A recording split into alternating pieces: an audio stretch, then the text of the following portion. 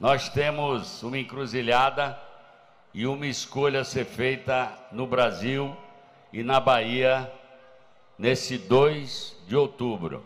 A Bahia e o Brasil da esperança, da prosperidade, da solidariedade, do amor, da família, do carinho, da espiritualidade.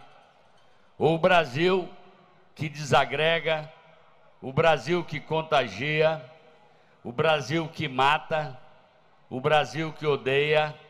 Nós, como em 2 de julho de 1823, vamos ter que puxar fila. E é bom que a gente entenda que a independência não é só deixar de ser colônia. A independência, presidente, é emprego, é renda, é universidade para nossa gente, é comida na mesa e nós vamos ter isso de volta.